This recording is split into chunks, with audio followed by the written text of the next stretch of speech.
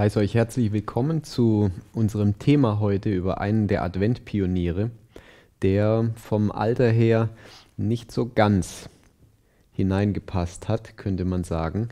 Äh, viele unserer Pioniere sind junge Menschen gewesen, die Gott berufen hat. Ähm, Joseph Bates war jemand, der vom Alter her ein bisschen älter gewesen ist, der aber interessanterweise im Vergleich zu anderen Pionieren jemand war, der sich einer guten Gesundheit erfreut hat, als er für die Adventbewegung gearbeitet hat. Ich habe den Vortrag heute ähm, betitelt mit den Worten, der Herr wird sich kümmern. Aus einem besonderen Grund, dies, dieser Ausspruch war einer der Lieblingsaussprüche, kann man vielleicht sagen, die Joseph Bates oft gemacht hat. Der Herr wird sich kümmern. Darauf werden wir auch noch in unserem Vortrag zu sprechen kommen.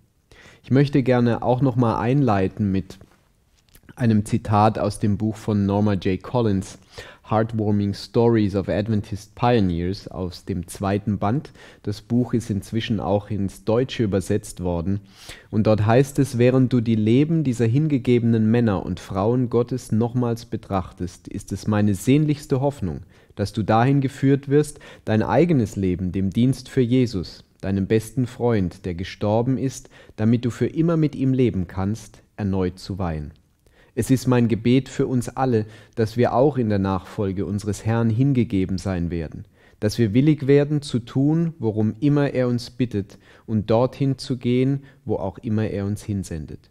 Ich bete darum, dass jeder von uns standhaft bleibt, bis Jesus in den Wolken der Herrlichkeit kommt, um uns mit ihm nach Hause zu nehmen.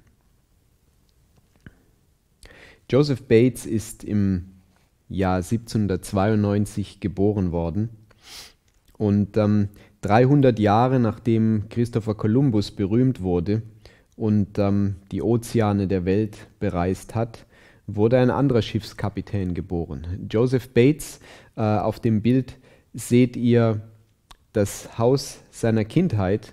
Das Bild ist natürlich einige Zeit später gemacht worden, im Jahr 1897.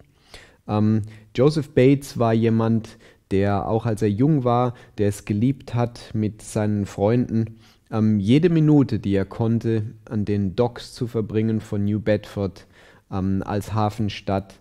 Und äh, sie waren vertraut mit all den Schiffen und ähm, auch befreundet oder bekannt mit den Männern, die, die auf den Schiffen gesegelt sind. Die Eltern von Joseph Bates hatten für ihn andere Wünsche, dass er nicht zur See fährt. Und ähm, sie haben sich dann gesagt, als Joseph beinahe 15 Jahre alt war, ähm, haben sie gesehen, dass sie aber nicht viel Erfolg haben, um Joseph davon zu überzeugen, dass er sich vielleicht etwas anderes suchen sollte. Schließlich war es dann so, dass sein Vater ähm, seiner Frau vorgeschlagen hat, dass sie Joseph doch so auf einen Kurztrip mit einem Schiff gehen lassen. Und ähm, vielleicht würde er ja auch seekrank werden auf der Fahrt und würde dann eigentlich nicht mehr diesen Wunsch haben, zur See zu fahren. Sein Onkel ähm, hatte ein kleines Schiff, war der Eigentümer eines kleinen Schiffes und so geht Joseph auf seine erste Reise. Aber seine Eltern mussten feststellen, dass diese erste Reise ähm, eigentlich nicht zu dem geführt hat, was sie sich erhofft haben, nämlich der Ausdruck auf dem Gesicht von Joseph hat ihnen gesagt, dass ihre Hoffnungen eigentlich im Sand verlaufen sind. Und so war es so, dass der Vater, Herr Bates, sich dann nach einem Schiff umgeschaut hat, oder besser gesagt nach einem Kapitän, dem er seinen jungen Sohn anvertrauen kann. Als Joseph Bates dann als Schiffsjunge auf seine erste Schiffsreise ging, das war ein Schiff, das Fanny hieß, das damals ähm, nach London gefahren ist, war es auf der Rückreise so gewesen, dass Joseph ähm, geschickt wurde, um äh, Ausschau zu halten, nach oben zu klettern, Ausschau zu halten nach anderen Schiffen. Und während er dann wieder heruntersteigt, ähm, rutscht er irgendwie aus und er fällt in die Tiefe. Zum Glück nicht aufs Schiffsdeck, das wäre wahrscheinlich sein sicherer Tod gewesen, sondern er, er fällt auf ein Seil und landet dann schließlich im Meer. Was man noch dazu sagen muss, es war so, dass seit längerer Zeit ein Hai auf einer Schiffsseite dem, dem Schiff praktisch mit dem Schiff geschwommen ist. Und ähm, man hat schon versucht, so ein Fleischstück ins Wasser zu lassen, damit der Hai vielleicht näher kommt und man ihn dann äh, töten kann, was aber nicht funktioniert hat und der Hai ist weiter neben dem Schiff hergeschwommen. Ähm, zum Glück hat jemand bemerkt, dass Joseph ins Wasser gefallen ist und schließlich gelang es dann, man hat ein Seil reingeworfen, dass Joseph dann wieder an Deck gezogen werden konnte. Ähm, worüber Joseph nicht nachgedacht hat, war, dass er auf exakt der Seite ins Wasser gefallen ist, auf der der Hai die ganze Zeit mit dem Schiff mitgeschwommen ist. Und man bringt Joseph dann ins Schiff in einen Raum, der so als Lazarett, kann man sagen, ähm, dort verwendet wurde.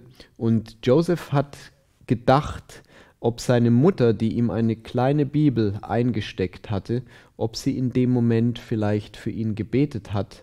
Und man hat geschaut, wo dann der Hai gewesen ist. Auf der Seite, wo Joseph ins Wasser fiel, war er nicht mehr aber er war, hatte die Seiten des Schiffs gewechselt und war auf der anderen Seite. Und Joseph hat gedacht, ähm, ob Gott nicht den Hai damals auf die andere Seite des Schiffes gelenkt hat.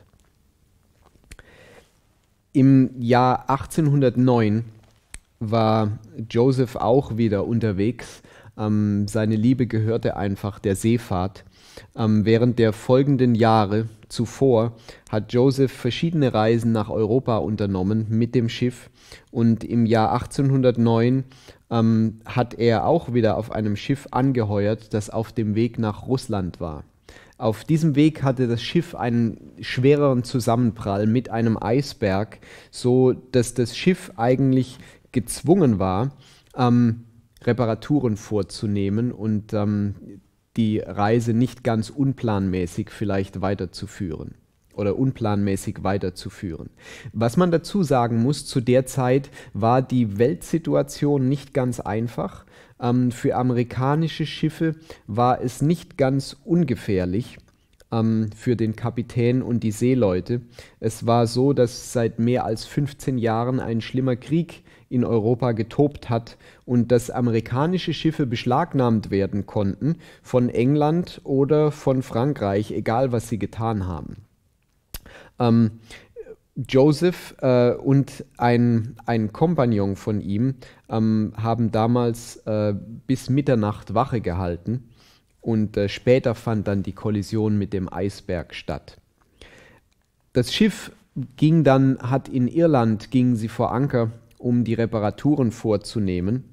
Ähm, und äh, es war, sie haben gedacht, dass es sicherer wäre, die Reise dann über um Norwegen herum fortzusetzen, bis sie dann Russland erreicht haben. Sie haben dann gemerkt, dass ähm, zwei Schiffe ihnen näher kommen und ähm, als die Schiffe näher kamen, haben sie angefangen zu feuern. Der Kapitän hat dann natürlich, um sein Schiff zu retten, hat dann äh, alles klar gemacht, damit äh, sie die Ankunft dieser beiden bewaffneten Schiffe erwarten. Und ähm, es hat sich herausgestellt, dass das dänische Leute gewesen sind. Ähm, Dänemark war zu der Zeit Teil von Napoleons Reich und ähm, der Kapitän hat gewusst, dass er dadurch, dass er an einem britischen Hafen angelegt hat für die Reparaturen, dass er das Gesetz ähm, dieses äh, Eroberers oder das Gesetz Napoleons ähm, verletzt hat. Also war es so, ähm, als sie schließlich dann ähm, nach Kopenhagen gebracht wurden von den Schiffen, mit den Schiffen, als sie dann sich der Stadt genähert haben, hat der Kapitän seine Männer zusammengerufen und hat ihnen angeboten, dass jeder von den Seeleuten eine gute Belohnung bekommt, äh, wenn sie praktisch aussagen, dass sie nicht in einem britischen Hafen eingelaufen sind, sondern dass sie eigentlich äh, direkt von New York gekommen sind. Joseph war der einzige meiner Kenntnis nach, der damals gesagt hat, dass er das nicht tun wird. Und Joseph Bates hat sich ausgezeichnet für seine Ehrlichkeit und er hat vor Gericht ähm, die Wahrheit gesagt und hat ernsthaft ausgesagt. es war natürlich dann so, dass äh, Joseph und seine Kameraden, dass sie irgendwie wieder nach Hause kommen müssten, mussten. Ähm, als äh, sie dann nach einiger Zeit ein dänisches Schiff gefunden haben, das sie zu einem Hafen mitnahm und schließlich kamen sie nach Belfast in Irland. Da ähm, war es so, dass sie auf ein weiteres Schiff natürlich gewartet haben, das sie zurückbringt nach, nach England oder nach Liverpool in England. Joseph Bates hat die kommandierenden Offiziere dann gefragt von Zeit zu Zeit, ähm, wohin ihr Schiff fährt. Und ähm, schließlich hat ihm einer geantwortet mit dem Wort Boston. Am nächsten Tag wollte Joseph Bates dann äh, mit dem Schiff nach Boston fahren, aber es war so, dass am selben Abend, als er und andere dann schließlich in ihrer Unterkunft gesessen sind, dass ein Offizier und zwölf Soldaten den Raum betraten, nachdem sie an die Tür geklopft haben und ähm, sie Joseph Bates und die anderen gezwungen haben, das konnte man damals oder das wurde damals gemacht teilweise, ähm, dass sie in der königlichen Navy, dass sie dort arbeiten müssen. Ähm, schließlich wurden sie dann gezwungen, ja, für die englische Regierung oder auf Schiffen zu arbeiten. Joseph Bates war auf mehreren Schiffen gewesen und kam dann im Jahr 1840 an einen Ort, den der ein oder andere vielleicht noch kennt vom Namen her, nämlich Dartmoor Prison.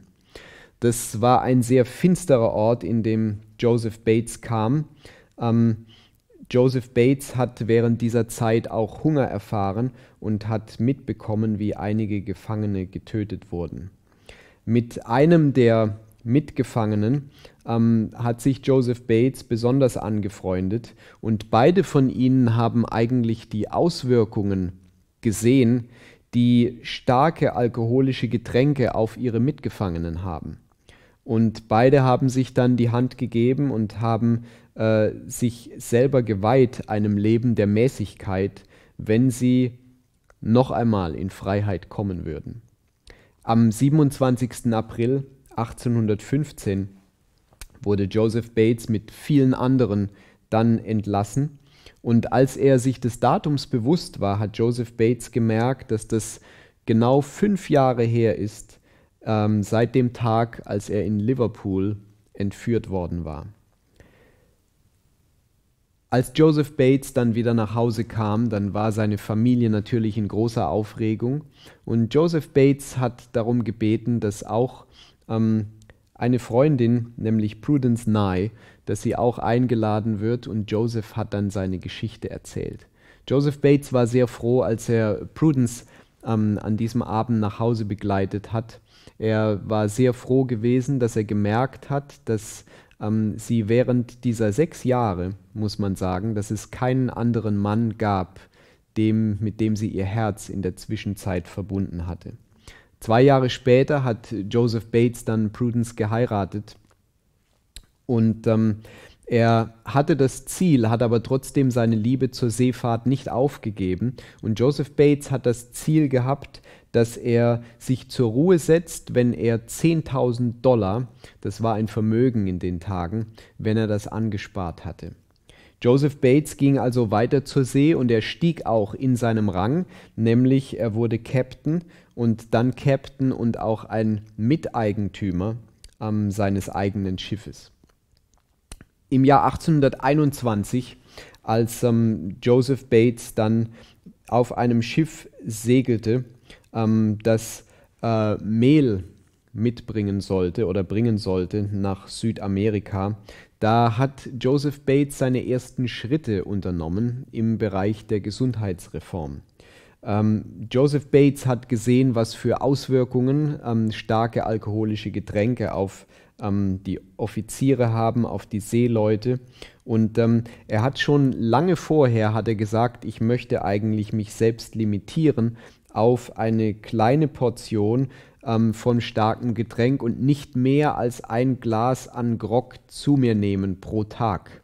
Was ihn allerdings erschreckt hat, war, dass er gesehen hat, dass er sich auf dieses eine Glas äh, mehr als auf irgendetwas anderes während dem Tag freut. Und ähm, Joseph Bates hat dann eines Tages die Männer an seinem Tisch ähm, erschreckt mit der Aussage, dass er gesagt hat, Gentlemen, ich habe das letzte Glas von starkem Getränk jetzt getrunken. Ähm, Joseph Bates hat ähm, dann die starken alkoholischen Getränke gelassen, aber noch nicht die moderateren Getränke. Aber im Lauf seines Lebens hat Joseph Bates eine gesunde Gewohnheit nach der anderen akzeptiert und eine schädliche Sache nach der anderen eliminiert.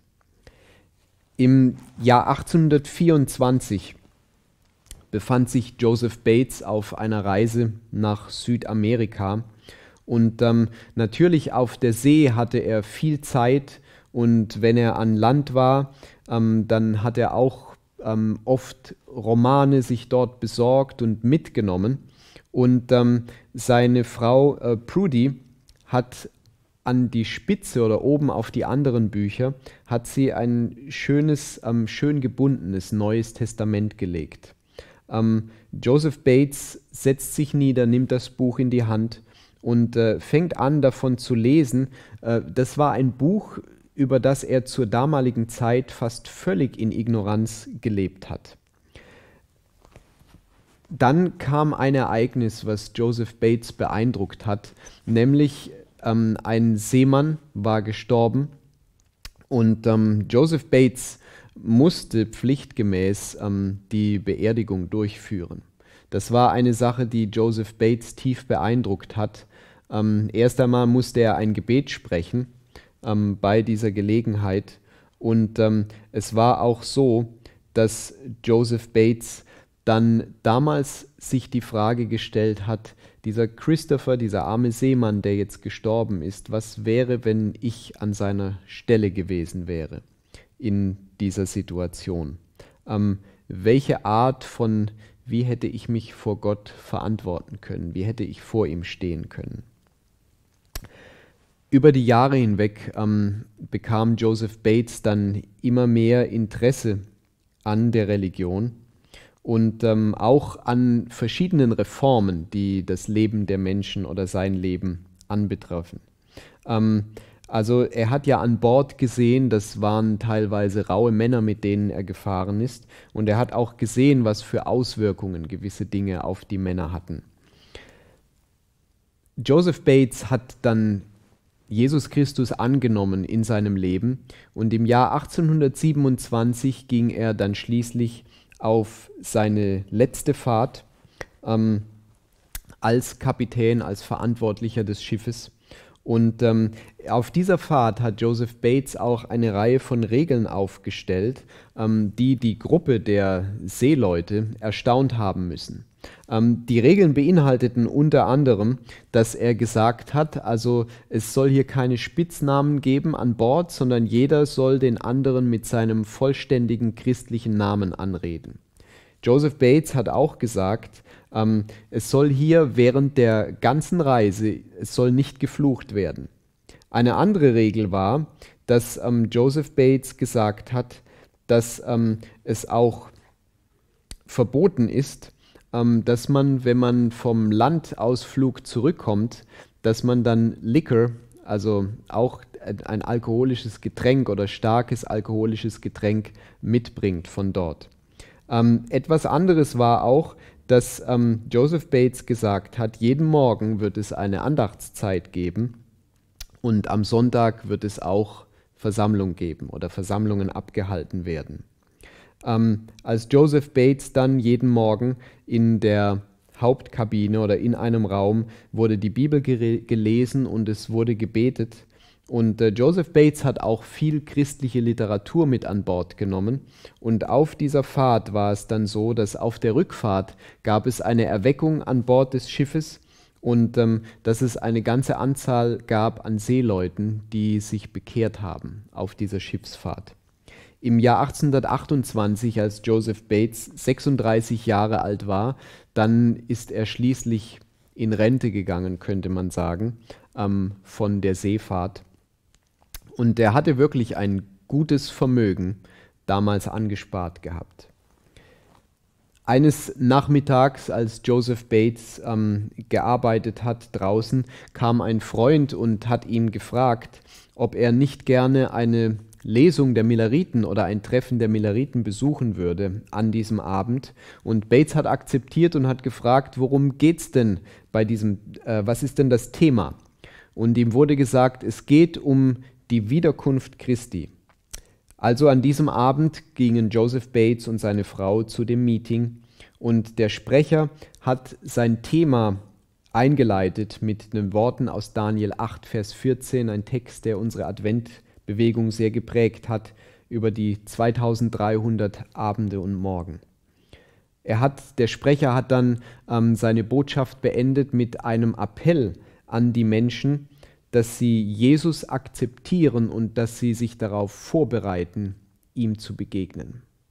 Joseph Bates und seine Frau Prudy sind dann, als sie wieder nach Hause gelaufen sind von dem Treffen, ähm, waren sie für einige Zeit komplett still, während sie gelaufen sind. Und nach einiger Zeit hat dann Joseph gesagt zu seiner Frau, das war mit Sicherheit die Wahrheit gewesen. Joseph hat dann sofort ähm, eine Kopie sich besorgt von William Millers ähm, 19 äh, Lectures oder Themen über die Prophetie in Bezug auf das zweite Kommen von Jesus Christus. Er hat sie bis tief in die Nacht studiert, Abend für Abend, und hatte schließlich kein Zweifel mehr ähm, in Bezug auf die Wahrheit, die darin zu finden gewesen ist. Im Jahr 1840 hat, ging Joseph Bates dann in den Vollzeit-Predigtdienst. Ähm, er hat die Nachbardörfer und Städte besucht und hat zu allen, die es hören wollten, von der gesegneten Hoffnung gesprochen, nämlich dass Jesus bald wiederkommt. Manchmal hat Joseph Bates gesprochen in Kirchen oder Schulhäusern, aber es war eigentlich noch öfter, dass es in den Heimen war von Farmern, die mit ihren Familien und ein paar anderen Familien noch dort waren, um ihm zuzuhören. Ähm, Joseph Bates hatte auch noch etwas anderes auf dem Herzen, nämlich in die Südstaaten zu gehen ähm, und damit die gute Nachricht auch zu den Sklavenhaltern und zu den Sklaven durchdringt. Aber es war so, er hat gemerkt, er braucht jemanden, der mit ihm geht. Und schließlich kommt er zu seinem alten Freund, ähm, dem Bruder H.S. Gurney, der Schmied war und der die Gabe des Singens gehabt hat, ähm, dass er und fragt ihn, ob er mit ihm kommt. Ähm, H.S. Gurney hat natürlich gewusst, dass äh, eine, es eine wahre Gefahr gibt, dass die Leute in den Südstaaten ähm, vielleicht denken könnten, dass sie Abolitionisten sind, Sklavereigegner und ähm, dass sie sie sofort auf der Stelle töten könnten. Und H.S. Gurney, ähm, er braucht ein bisschen Bedenkzeit, aber schließlich ist es so, dass er seine Kündigung einreicht, seine Arbeit verlässt und dass er mit Joseph Bates zusammen in die Südstaaten geht. Und sie sind dort auf Schwierigkeiten getroffen, aber ich möchte gerne eine Erfahrung mit euch teilen aus den Südstaaten, die mich besonders bewegt hat, als ich sie gelesen habe.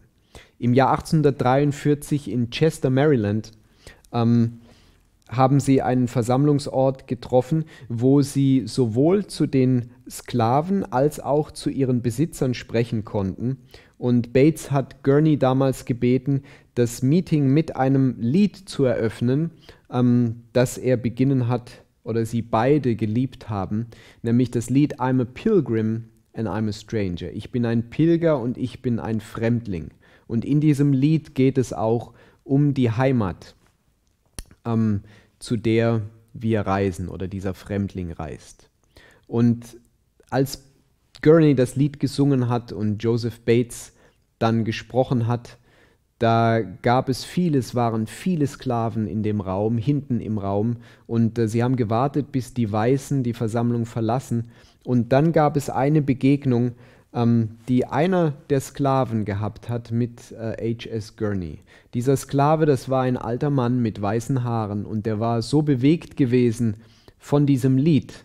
Ähm, das war jemand, der sein ganzes Leben einem anderen Mann gehört hat, und er hat H.S. Gurney dann äh, gefragt, ob er ihm eine Kopie von dem Lied geben kann, das er gesungen hat. Und ähm, H.S. Gurney hatte nur eine Kopie und hat gesagt, es tut ihm leid, aber ich, ich kann dir das nicht geben, ich habe keine Kopie mehr von diesem Lied. Ähm, dann hat ihm dieser alte Sklave 25 Cent angeboten. Das war eine Summe damals, wo es ihn vielleicht sein ganzes Leben gebraucht hat, um dafür zu sparen. Und wahrscheinlich war es aus dem Grund, ähm, dass er seine Lebensgeschichte irgendwie in dem Lied wiedergefunden hat.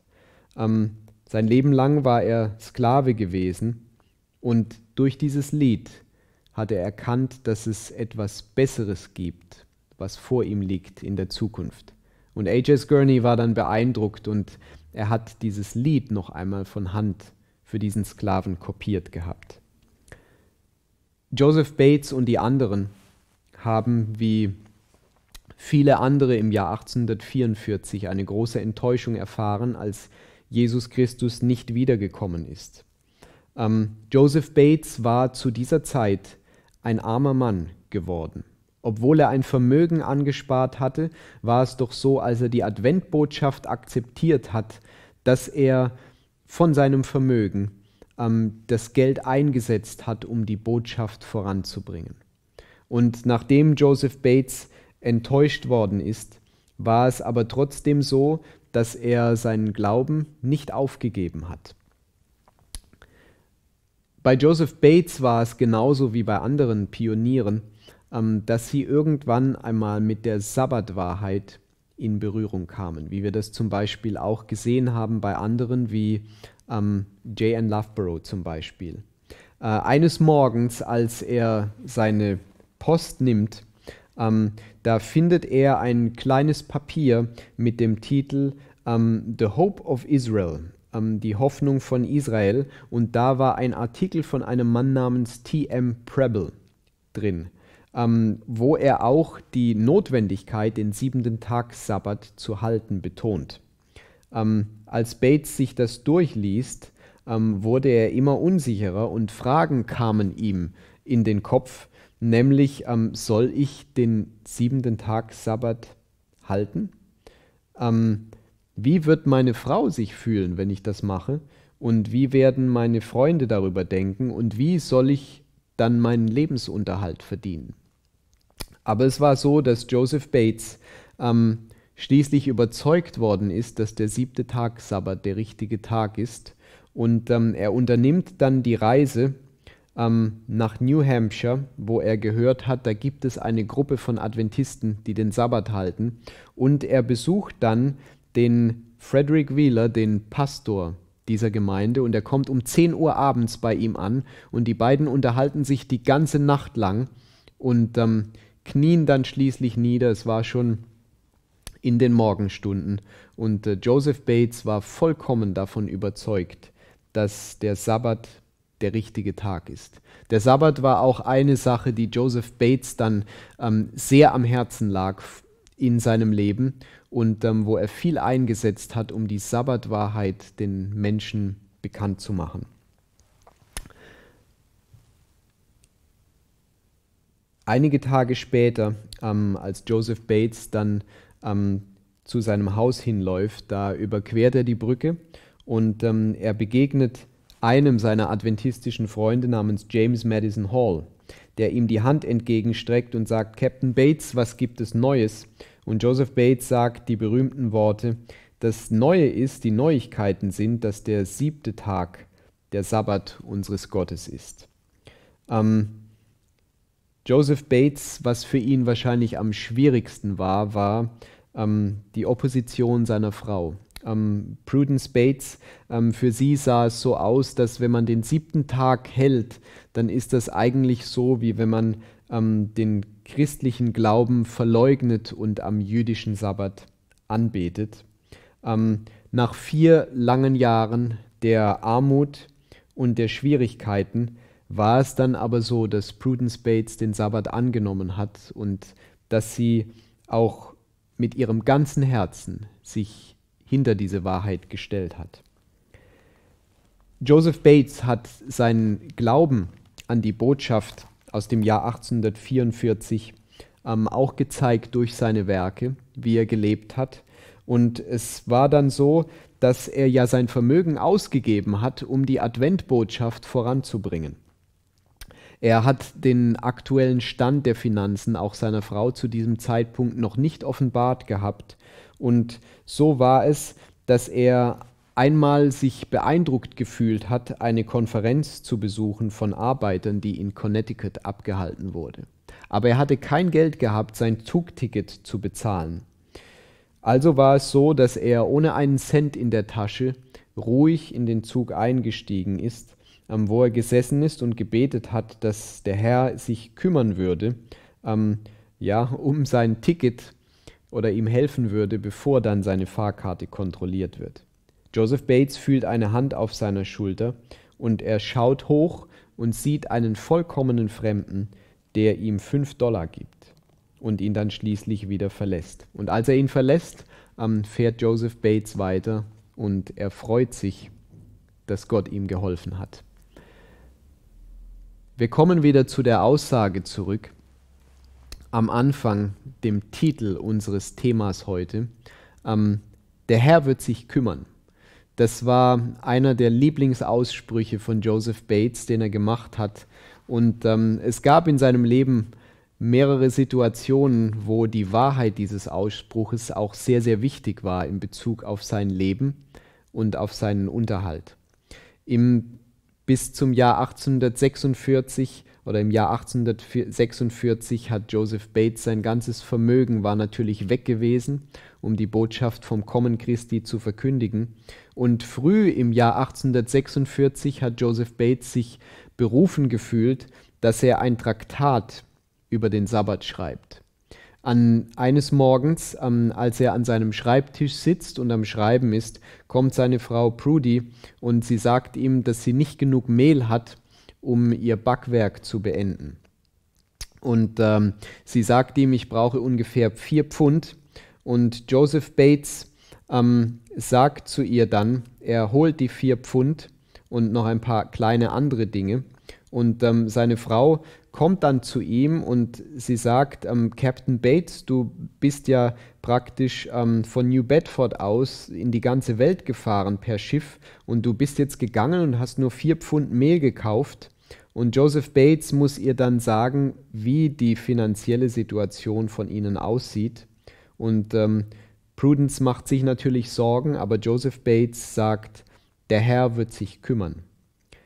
Ungefähr eine halbe Stunde später ähm, wird Joseph Bates beeindruckt, dass ähm, beim Postamt ein wichtiger Brief auf ihn wartet. Und Joseph Bates geht los und beim Postamt ist es so, dass ein Brief für ihn da ist und Mr. Ähm, Drew, der, derjenige, der da verantwortlich war am Postamt, ähm, der sieht den Brief und Joseph Bates bittet ihn, ähm, er hatte kein Geld, das, das Porto zu bezahlen, ähm, bittet ihn, dass Mr. Drew den Brief öffnet und ähm, dass er dann von dem, wenn Geld darin ist, den Betrag, diese 5 Cent, äh, abzieht.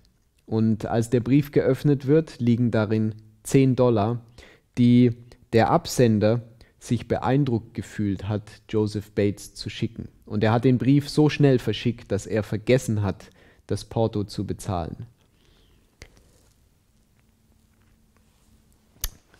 Im August 1846 ähm, war es dann so, dass ähm, Joseph Bates das, das Traktat, er wurde informiert, ähm, dass er das Traktat praktisch abholen kann. Ähm, er hat einen Teil des Geldes bezahlt gehabt, aber es war immer noch eine große Summe, die offen gewesen ist. Was Joseph Bates nicht gewusst hat während dieser Zeit, dass H.S. Gurney, das war der Schmied, der mit ihm in den Südstaaten war, um dort Gott zu dienen, dass er, als er damals Joseph Bates begleitet hat auf seiner evangelistischen Reise ähm, in die Südstaaten, dass äh, Gurney damals praktisch gekündigt hat und eigentlich wäre ihm der Arbeitgeber noch 100 Dollar schuldig gewesen, ähm, die Firma, aber ihm wurde gesagt, dass jetzt sein, sein Ausscheiden, dass das Schaden verursacht hat und ihm wurde das Geld nicht bezahlt. Ähm, H.S. Gurney ist auch nicht vor Gericht gegangen. er hat das in Gottes Hände gelegt, aber sein Chef begegnet ihm auf der Straße und er, er macht ihm deutlich, ich, ich habe dich schlecht behandelt und ich gebe dir jetzt hier die 100 Dollar, die dir zustehen. H.S. Gurney ähm, sagt sich dann, dass dieses Ereignis, das kommt vom Herrn. Und er geht hin und er bezahlt die Traktate oder das, was noch bezahlt werden musste, ähm, für Joseph Bates. Und Joseph Bates hat bis zu seinem Tod, er hat nie erfahren, wer dieses Geld für ihn bezahlt hat.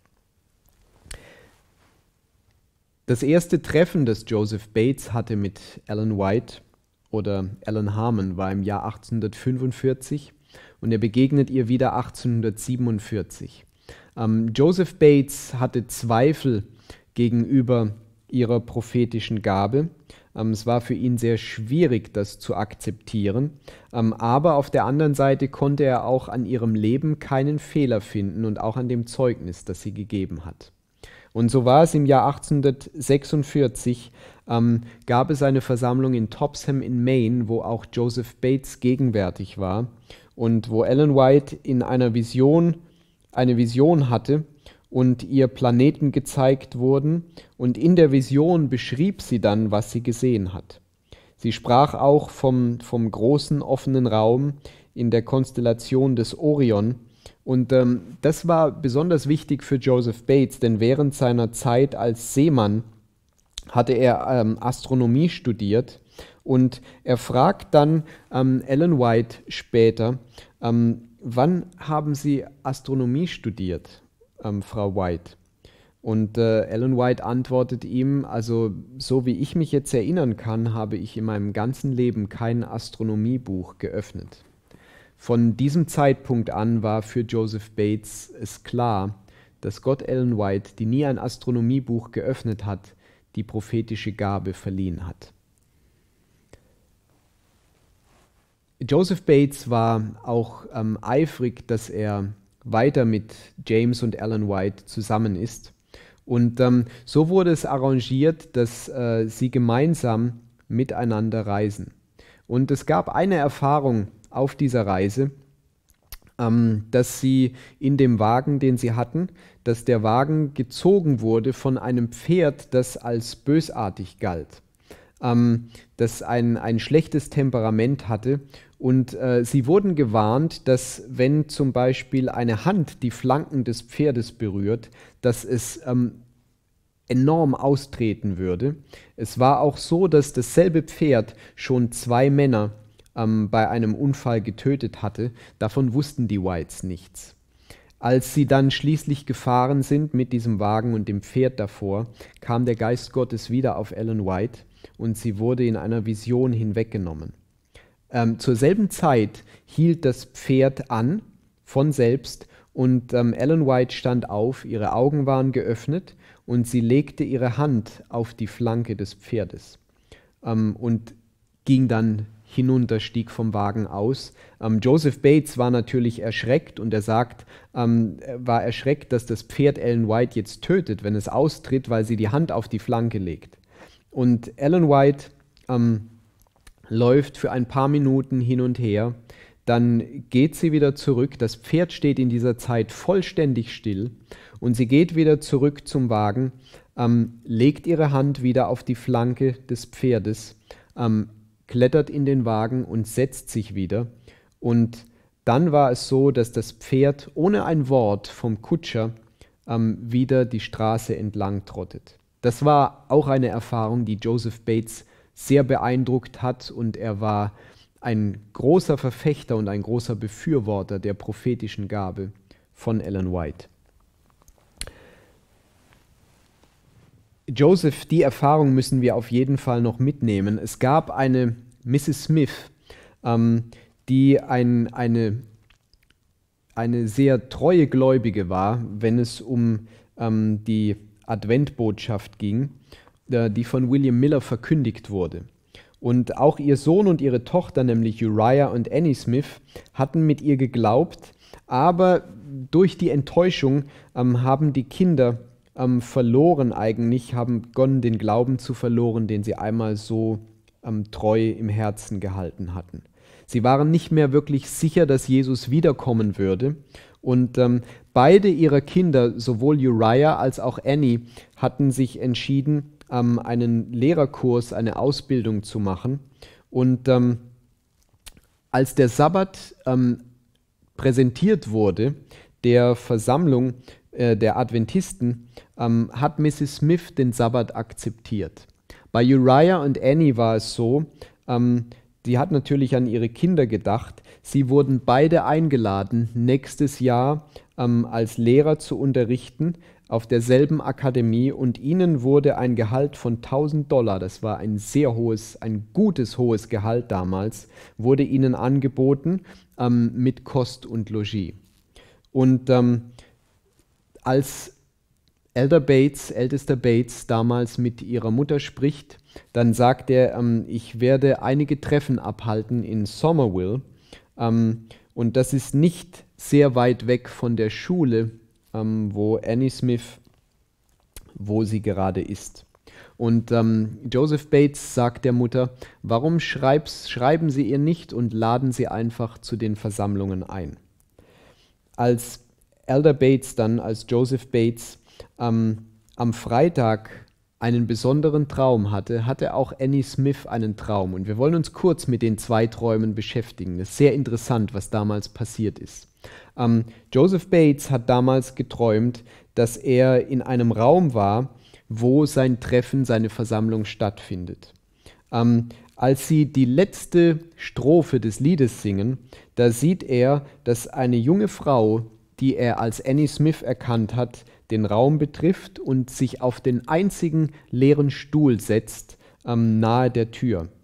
Joseph Bates hatte geplant, über ein anderes Thema zu sprechen, aber als er Annie Smith gesehen hat, hat er den Text zitiert, bis 2300 Abende und Morgen vergangen sind, dann wird das Heiligtum wieder geweiht werden. Und er hat dann äh, gesehen, dass er über das Heiligtum und über den Sabbat gesprochen hat.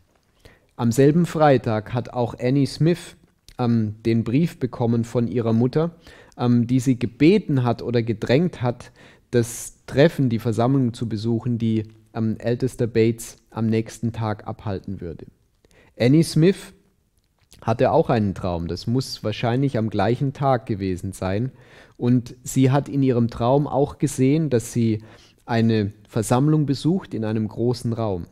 Sie hat gesehen, dass das letzte, die letzte Strophe eines Liedes gesungen wurde, ähm, als sie zu spät in den Raum kam und sich auf den einzigen freien Stuhl nahe der Tür gesetzt hat.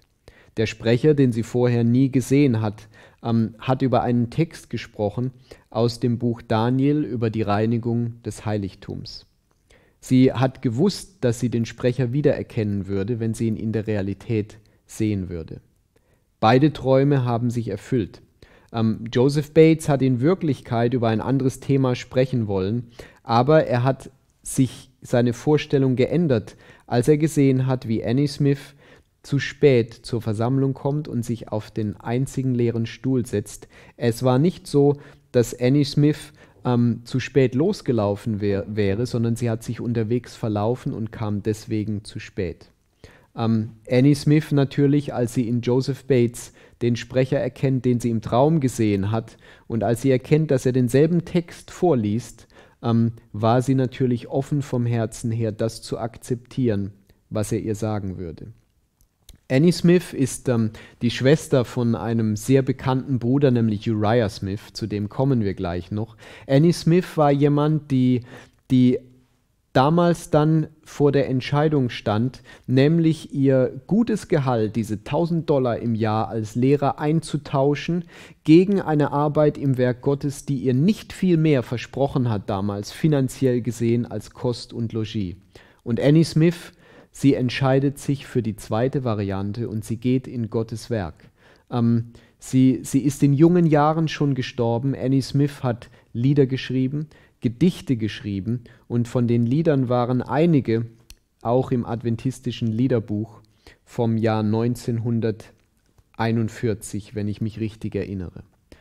Annie Smith war aber jemand, die ihr ganzes Herz Jesus gegeben hat. Und einige Zeit später war es auch so, dass ihr Bruder Uriah Smith, der später vor allem beim Review and Herald gearbeitet hat, ähm, dass auch er die Adventbotschaft von ganzem Herzen angenommen hat. Uriah Smith, ähm, ihr erinnert euch vielleicht an das Buch Daniel und die Offenbarung, er war jemand, von dem ähm, jemand gesagt hat oder manche vielleicht gesagt haben, er war der Adventpionier mit den ähm, meisten Talenten in verschiedenen Gebieten, die er gehabt hat. Für Joseph Bates, um die Adventbotschaft weiterzugeben, egal ob es im Winter war, ähm, durch den Schnee oder ob es im Sommer war bei großer Hitze, für Joseph Bates war kein Weg zu weit, um Menschen mit Jesus Christus und mit der Adventbotschaft vertraut zu machen. Der ehrlichste Mann der Stadt. Ähm, Joseph Bates hatte einen Traum, in dem, er gezeigt, in dem ihm gezeigt wurde, dass er auf einer Reise in Battle Creek, in dem Traum hat er gesehen, dass er auf einem Schiff ähm, von, Jackson aus, von Jackson aus nach Westen fährt und dass er in Battle Creek anhalten muss, um zu arbeiten.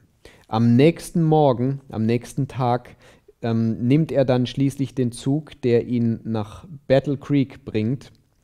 Schließlich, als er dann dort ankommt, fragt er sich, ähm, wie er seine Arbeit dort beginnen soll. Und ähm, er denkt sich dann, dass eine ehrliche Person die Botschaft mit Sicherheit akzeptieren wird. Also ähm, er hört, es ist so wie, als ob er eine Stimme hört, die ihm sagt, ähm, dass er zur nächsten Poststation, zum nächsten Postamt gehen soll und na, sich nach dem ehrlichsten Mann der Stadt erkundigen soll. Ähm, also geht Joseph Bates der Stimme gehorsam, geht er zum Postamt und ähm, er fragt dann den Mann dort, können Sie mir den Weg zeigen oder mir die Wegbeschreibung geben zum ehrlichsten Mann in dieser Stadt? Und der Mann sagt ihm dann, ich kann Ihnen eine direkte Antwort geben.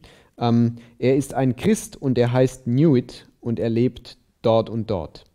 Einige Minuten später klopft Joseph Bates dann an die Tür, wird hereingelassen und nach der Familienandacht ähm, ist dann die Familie offen in Bezug auf die Botschaft zuzuhören, die Joseph Bates ihnen bringt. Und ähm, am Nachmittag spricht er dann über die dritte Engelsbotschaft und er präsentiert den Sabbat. Und um 5 Uhr oder bis 5 Uhr ist der ehrlichste Mann der Stadt und seine Frau sind davon überzeugt, dass Joseph Bates die Wahrheit sagt und sie entschließen sich, den nächsten Sabbat zu halten.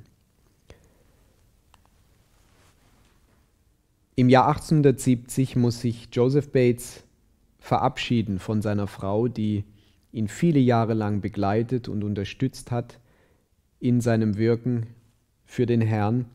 Und im Jahr 1871, das war ein Jahr vor seinem Tod, ähm, da besucht Joseph Bates in Battle Creek, besucht er eine Versammlung, ähm, wo es um Gesundheit geht. Joseph Bates hat äh, in Battle Creek in der Kirche eine ähm, Gesundheitsreform-Rally besucht in der alten Battle Creek Kirche.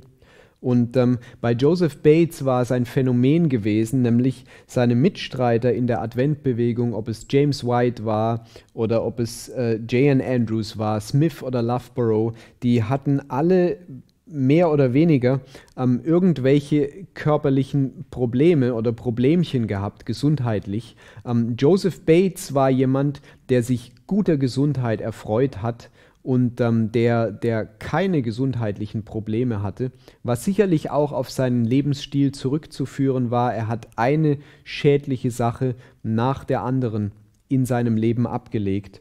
Und so war es so im Jahr 1871, dass Joseph Bates gegenwärtig war und er wurde gebeten, nach vorne zu kommen.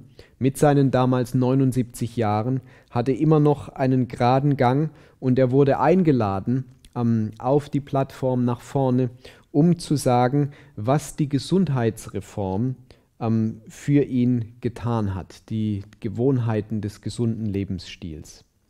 Ähm, J.N. Andrews wurde danach gebeten, dann für seinen Teil des Programms ähm, und als J.N. Andrews dann zum Pult ging, da waren seine ersten Worte, was soll der Mann tun, der nach dem König kommt. Zwei Jahre nachdem die Frau von Joseph Bates, seine geliebte Prudy, gestorben war, ähm, starb auch Joseph Bates am 19. März im Jahr 1872. Joseph Bates hat im Werk des Herrn eine große Lücke hinterlassen und in den Leben von den Menschen, die ihn gekannt und ihn geliebt haben. Joseph Bates war jemand, der, wenn es um die Adventbewegung ging und darum, die Sache zu unterstützen, der sein Vermögen aufgewandt hat, damit Menschen bekannt werden mit der Wahrheit, dass Jesus bald wiederkommt. Joseph Bates war auch ein Mann, so wie wir ihn jetzt kennengelernt haben in dieser kurzen Zeit, der zu seinen Überzeugungen gestanden ist und der bereit war, auch Risiken auf sich zu nehmen, wenn es um Gottes Werk ging. Mein Wunsch und Gebet ist, dass auch du und ich, die wir in der Zeit, in der Endzeit leben, in der Zeit vor der Wiederkunft von Jesus Christus, unserer großen Hoffnung, dass wir alles einsetzen und alles geben, egal ob wir alt oder jung sind, um Menschen mit unserem Erlöser bekannt zu machen und dass wir unserer Überzeugung gemäß leben und weder zur Rechten noch zur Linken in Kompromissen abweichen, damit Menschen sehen können, was es bedeutet, mit Jesus Christus zu leben. Und mein Wunsch und Gebet ist es auch, dass wir wie Joseph Bates in Bezug auf die Gesundheitsprinzipien, die Gott uns gegeben hat, unter anderem, damit wir ihm besser dienen können, dass wir diese Prinzipien von Herzen in unserem Leben annehmen. Nicht als Einschränkung, sondern als einen Segen, den Gott uns gegeben hat und durch den er uns auch bereit machen möchte, dass wir ihm besser dienen können. Möge der Herr uns segnen, wenn wir, wie Joseph Bates, versuchen, Menschen zu erreichen mit der Botschaft, dass er bald wiederkommt.